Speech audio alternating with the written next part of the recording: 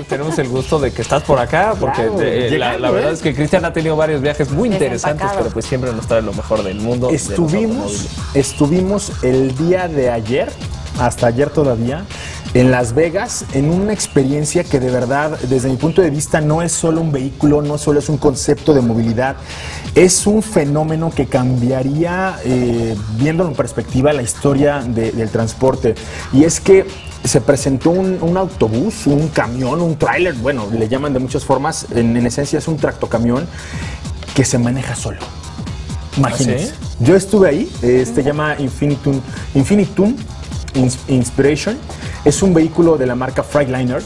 Y a bordo de este auto, de este vehículo, pudimos durante algunos kilómetros, en eh, condiciones de tráfico real, estábamos en la calle, tránsito eh, que era el propio de la, de la carretera de este freeway que está alrededor de Las Vegas Motor Speedway conduciendo sin manos. O sea, era una experiencia que de verdad les debo decir, ahora llevamos una pequeña nota, un adelantito en la portada del periódico, en la portada de atracción, pero será la próxima semana cuando les cuente a detalle cuáles son las condiciones bajo las cuales el desarrollo de Daimler, Freightliner es un parte de, una, de un conglomerado de empresas que, que son parte de Daimler, desarrolló esta tecnología y créanme que ir en un tráiler, imagínate Ingrid, o sea, vas en un tráiler y que de pronto el chofer diga, bueno, a partir de ahora vamos a soltar el volante y que haya un conteo 10, 9, 8, suelta el volante y el vehículo va conduciendo por sí mismo. De pronto había obviamente curvas y, y algo que, que hacer y el, y el auto, bueno, el camión, el tráiler lo hacía de forma autónoma y esto de verdad que a cualquiera lo pone Sí, la pues, emoción, ¿no?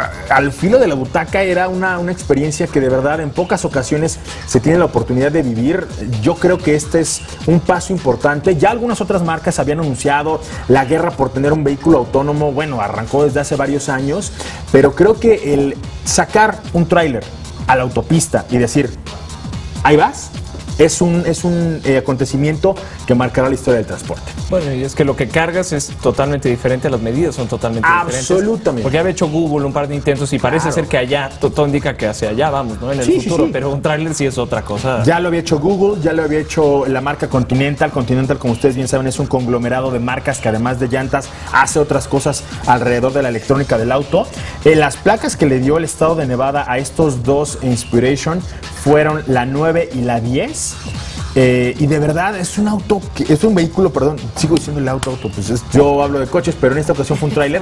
Es un camión, es, un truck, como, como le dicen eh, allá en Estados Unidos, que de, entrada la imagen ya es futurista, te cambia por completo esta perspectiva. Es un adelantito el que les estoy dando, pero lo que les quería decir es que en cuanto acabamos esta prueba de manejo, eh, me invitaban mis amigos, vamos al shopping, vamos a Las Vegas, vamos a apostar, pero dije, no, no pienso recibir otro regaño de Ingrid, así es que me voy al aeropuerto. Gracias a Dios. Y directo aquí a- a- al estudio de Excelsior Televisión. Me alegra mucho, eso pensé, Cris. Para presentarles, ahora sí, eh, el tema de nuestra portada. Una portada muy a propósito de 10 de mayo. Estamos, eh, bueno, festejando para quienes tengamos en atracción. Muchos dudan que lo tengamos, pero sí tenemos mamá. Sí dudamos. Este, Sí, dudamos que el día sábado y el día domingo estaríamos festejando a, a nuestras madrecitas y obviamente creo que la portada tendría que ir eh, destinada a ello. Eh, tratamos de mezclar dos conceptos importantes. El primero es el de la protección, el de eh, esta calidez con la que, con nuestras madres pues obviamente nos han, nos han creado. Y el segundo es un vehículo que trate de emular estas características, que te dé esa confianza, que te dé es- ese sentimiento de que estás eh, protegido ahí. Y creo que Tuareg es un vehículo que recientemente ha recibido una actualización en su segunda generación y que produce esta sensación, ¿no? Es un coche que más allá de las características y cualidades que le conocemos de dinamismo, de agilidad, una camioneta de, de buen espacio, eh, con una capacidad de carga interesante, además con cualidades todoterreno, porque es un coche que tiene una suspensión adaptativa que te permite salir eh, del asfalto eh, y que se porta bien, o sea, no se atasca, no, no, o sea, no tiene miedo a nada este coche, ¿no? Ya recibió una buena cantidad de gadgets y de innovaciones tecnológicas. Le cambiaron, por ejemplo, los faros. Ahorita estamos viendo ese botón es justo para ajustar las condiciones de manejo. Lo puedes sacar la nieve, la arena, la tierra, el lodo, las rocas y lo hace muy bien. En la parte frontal será el lugar en donde veamos más evidencias de estos cambios y esa- esas actualizaciones. Ahora ya tiene faros eh, Xenon con LEDs.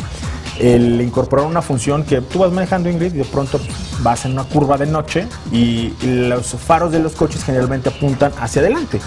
En esta ocasión no es así, hacia donde tú lleves el volante, las, eh, las luces apuntarán y esto te permitirá que en una curva, por ejemplo, puedas sacar de mejor forma la maniobra porque pues no solo es ver hacia el frente, no es ver hacia dónde vas. Eso ayuda muchísimo y sobre todo a las mamás que les gusta pues ir de punto A a punto B sin importarles nada más. Eh, que no tengan que pasar encima de los baches, topes. Exacto. Eh, tú ahorita estabas quejándote fuera del aire con, mi compañero Héctor Linares de la lluvia, de que la inundación, que la granizada de antier. Yo afortunadamente no tuve ningún contratiempo al respecto, allá en Las Vegas no se inundó. Me alegra mucho. Yo lo sé, yo lo ¿eh? sé que estabas muy preocupada, pero este tipo de vehículos te permiten tener, y hace poco estábamos platicando con el presidente de Jaguar aquí en México que, la gente le preguntaba, ¿y dónde voy a hacer esto? Porque estamos viendo en pantalla cómo este coche prácticamente pasa encima de cualquier cosa. La gente que lo maneja no tiene la menor idea que es capaz de hacerlo, pero créeme que la ciudad, con las complicaciones con las cuales cada vez más se va enfrentando, te pone una de estas en cualquier esquina. Yo, sí he visto baches de este pelo. ¿eh? claro, claro. No, si se van de fin de semana a un Valle de Bravo a subir, claro. Pero, pero ni siquiera, Ingrid, o sea, tú de pronto te vas a encontrar una inundación o unos, unos top peso o, obstáculos en, el, asfalto que bien pueden emular estas cosas. Y en un coche así sin miedo, ¿no? Las pasas. Exacto, porque obviamente el temor es de irte de lado y... o, de no salir, atascarte o, inundarte, ¿no? Estos coches están hechos para eso, obviamente pensando en que nunca tengas que enfrentar un, obstáculo de estas características, pero que si llega a pasar, sin problema puedas salir adelante. Oye, bueno, porque eh, también no sé cómo, cómo está de precio este, este vehículo, porque también yo no sé si lo metería a la, terracería así. Es un tema de estilo de vida, pero es un rango que, que va desde los 800 hasta por encima del millón. Son cuatro las versiones que tenemos de este vehículo. Dos motores V6, uno a gasolina, uno a diésel, que es el, el que pusimos en nuestra portada, un V8 también a gasolina y un híbrido. Se quitan las piedras del camino. Lo que, lo que se te ponga, más allá de las piedras. ¿Y qué más tiene la portada? Tres temas importantes porque sé que el tiempo eh, apremia y se nos va. Importante saber que ya manejamos el primer Kia, la primera camioneta Kia, que llegará a nuestro país junto con otros tres eh, vehículos en una primera oleada que a partir de julio llega a las concesionarias de Kia en México. Eh, es un auto con obviamente un estilo muy característico, un diseño muy definido por parte de Kia. Me gusta, es una camioneta que llegará a pelearse contra todas, CRB, X-Trail, eh, obviamente CX5, eh, todas las que están en el segmento y, lo, llega con arsenal, ¿no? ¿Qué más? condujimos, y ustedes, no sé si ustedes lo vieron aquí en la redacción, un Mercedes-Benz GT, un auto que de verdad fascinante y somos de los pocos periódicos que ya lo tuvieron en sus manos.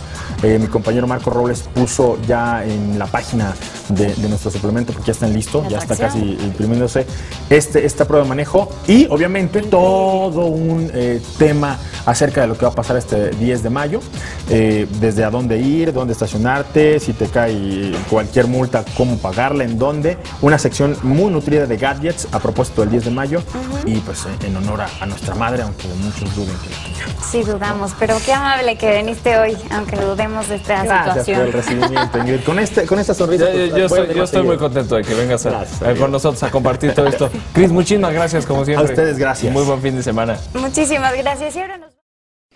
Te invitamos a seguir cuestionando la información con los siguientes videos.